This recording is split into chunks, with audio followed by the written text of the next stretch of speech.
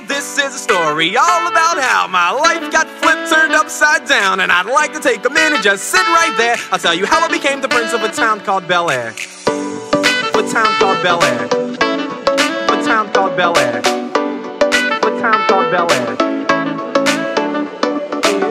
Philadelphia, born and raised on the playground is ever spent most of my days. Chilling out, maxing, relaxing on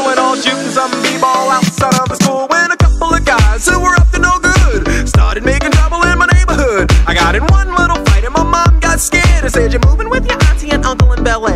I begged and pleaded with her day after day, but she packed my suitcase and sent me on my way. She gave me a kiss and then she gave me my ticket. I put my Walkman on and said I might as well kick it.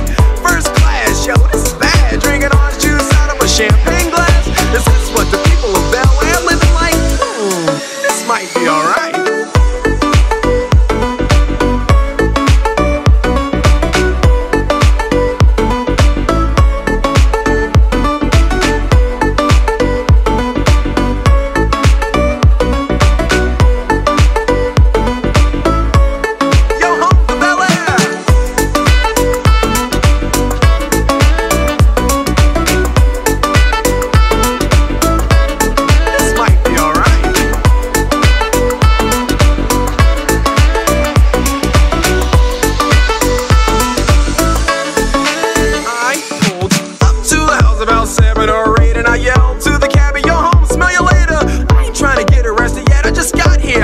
With the quickness like lightning disappeared.